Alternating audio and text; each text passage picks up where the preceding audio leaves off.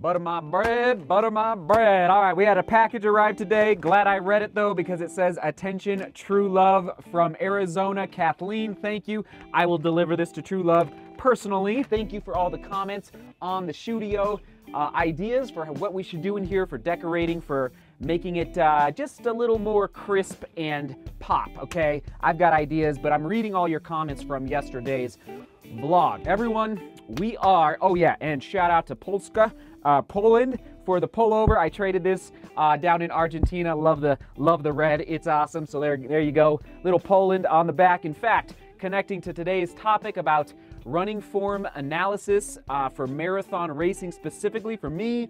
The Krakow Marathon is kind of on my radar. So um, I don't know about 2020, but uh, hopefully in the future, I'd love to run, race the Krakow Marathon in Poland. All right, craziness, everyone we are stronger together. I'm about to post this on the Facebook group uh, after I get done recording here.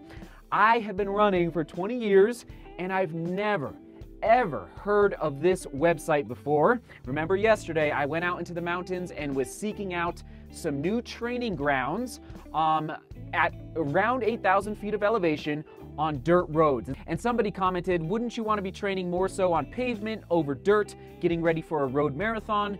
Yes and no. Uh, I do agree that I need to do a little bit of work on pavement, but I have to be careful that I don't get injured by doing high volume and high intensity on pavement. So that's why I'm seeking out dirt roads. And sure enough, somebody yesterday, yeah, yesterday's vlog posted gravelmap.com gravelmap.com. I cannot believe I've never heard of this website before. It looks to be pretty accurate. Now, I've only been looking at it for about a half hour, but it basically shows you different locations around the United States, and I'm, I haven't looked outside the US yet, but lo locations where you can go seek out dirt roads or gravel roads, as the name of the website alludes to. How amazing is that? And in fact, I actually already found a, a few more ideas in the area that I was in yesterday, so I'm blown away. Gravelmap.com. We are stronger together because that resource if we weren't here talking about this these topics, I would have never learned about gravelmap.com. So shout out to whoever posted that. I really, really appreciate it. Okay, moving on to running form and running analysis. Here we go. In my opinion, how to how to get going into this. This is a huge topic. I think that you should never change your form completely. You have been running the way you've been running since you were a child.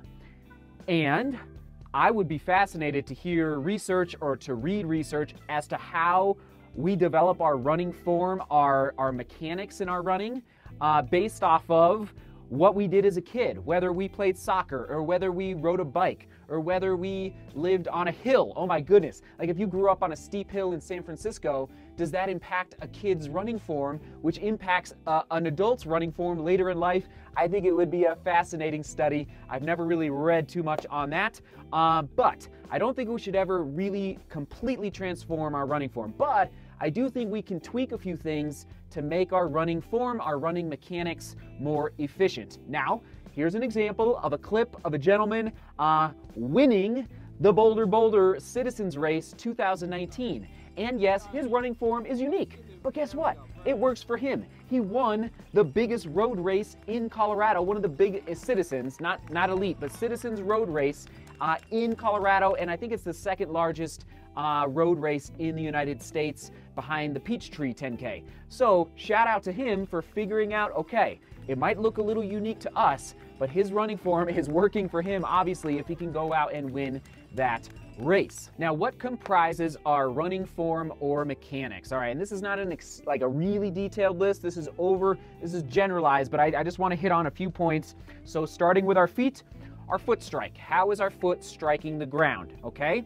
Next, our knee drive. How is our knee moving through the gait cycle? And uh, what does the back kick look like? So how far back does our foot go? How high does it come? How, what is the angle of our knee uh, when it's fully extended, okay? And then um, our hips.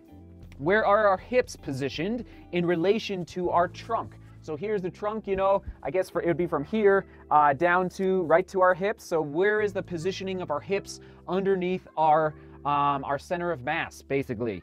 And then our shoulders, okay? Our shoulders slouched. Is one lower than the other, okay?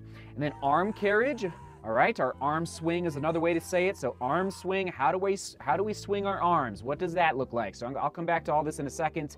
Um, and then our head, yes, it's uh, I know our head is well, it's it's carrying our brain, which is hopefully making good decisions in a race. But like um, our head is, which I I think I've heard. Don't quote me. Does our head weigh about 10 to 12 pounds. It's actually quite a bit if like, anyway. Um, so our head is important. Like, is it off to the side? Is it looking down too much? Um, is it looking up too much? So our head is, is critical and because it's, and it's connected obviously to our eyes. And so anyway, th that is what I'm talking about with respect to the different body parts that impact what our, our running mechanics looks like. Now, as far as my running form goes, you know how I like to say it eyes up, pump arms, quick feet. I love that. It just helps me so, so much in the middle of a race.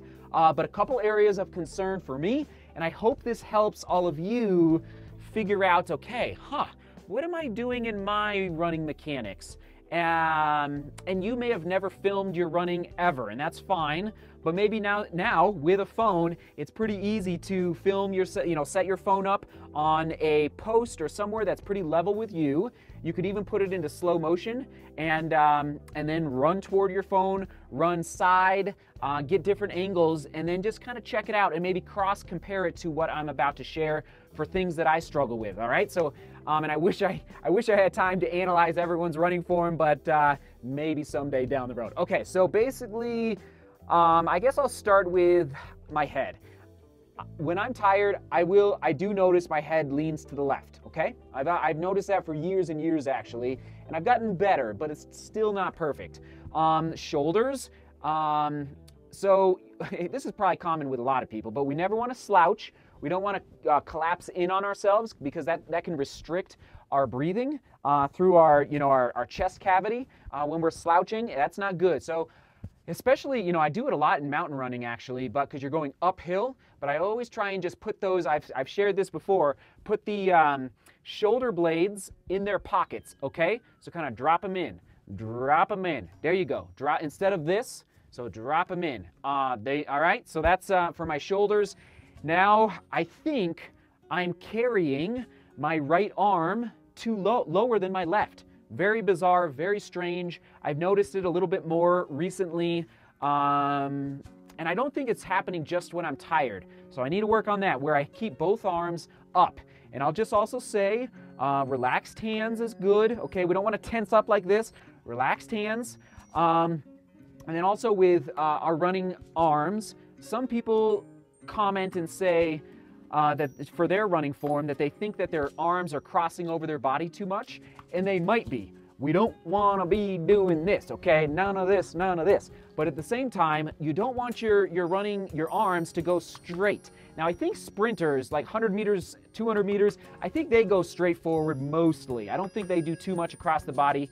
Distance runners is different. Um, it's okay if you and you just go watch the elite marathon runner, like it's okay to cross the body a little bit, um, so that it's basically I would say even with your your pectoral muscle, basically. So boom, boom, boom, boom. Not this, okay? Not this, not this. Just boom, boom, boom, boom, and um, carrying your arms just a little higher. Okay, so in mountain running, I drop my arms a little bit. I don't know. I guess it's the um, just the angle of the, the mountain and get, getting up the mountain, I have found that dropping the arms is good for mountain running. But in road racing, you want to keep them right here, nice and efficient, nice and not, I don't want to say tight to the body, but not like swinging too low, okay? Just right here, right here, just nice and smooth, nice and smooth, okay? Um, and then as far as my knee drive, again, um, okay, I guess I'll say my hips.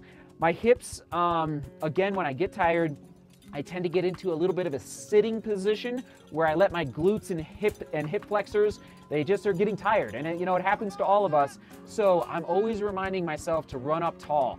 And I'm not a tall guy, uh, but just being as tall as I can, and again, keeping that chest cavity open.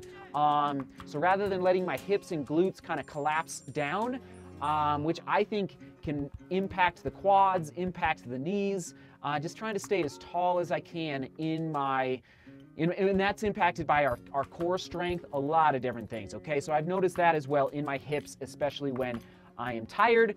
As far as foot strike, I do pronate a little bit, um, and that's, you know, it's pretty typical. Um, as long as it's not crazy, um, or supination. I know some people struggle with supination, but I feel pretty good about my foot strike. I'm definitely a forefoot to mid foot foot strike. Um, you know, you don't, it's, it's better not to be a huge heel striker, although a former world record holder in the marathon. He, he was from Kenya. It wasn't uh, Tergat. Oh man, I'm not going to remember his name, but this is probably 10 years ago. He was a heel striker and he held the world record uh, like a pretty pretty significant heel striker. So it's not an exclusive rule, but usually you want to be um, you want to be a forefoot or mid foot uh, for your foot strike. And um, yeah, oh, and okay, also for foot strike, your foot should be striking basically just ahead of your hips. As far if there was a if there was a ruler, if there was a ruler going straight down from your hips to your feet uh, through your gait cycle, your feet want to be striking just ever so slightly in front of your hips, all right?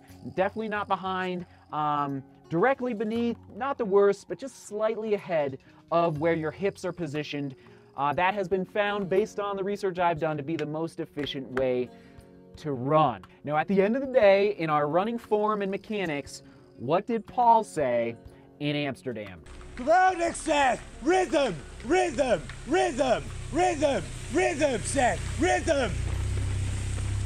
That's right. Rhythm, rhythm, rhythm. That was my mantra. That was my reminding action. That was my action item, my action word for Amsterdam.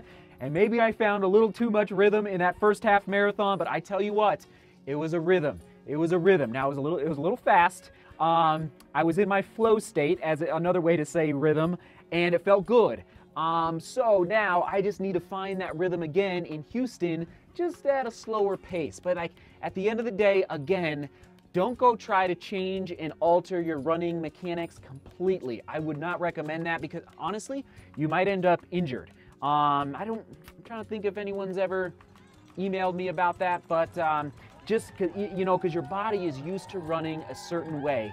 However, there might be just a couple little things that you could tweak to make your uh, running form more efficient so you're using less energy so you can run faster and chase down PRs even better. This is a huge topic. Uh, I will we'll dive into this topic again in the not so distant future as I prepare for Houston and just really hone in and dial in on okay, what's going to be most efficient for the roads of Houston. Question of the day Have you ever uh, looked and analyzed at your running form? If so, did you change some things? Or um, is this a brand new topic that you just have never thought about? And are you interested in learning more about running mechanics, how to be as efficient as possible? That's the question of the day. Thank you for watching. Uh, a simpler day as I rest here during this week, getting ready for the next training block leading into Houston. So it's nice to just uh, be on a little break, but uh, we'll, we will be back to running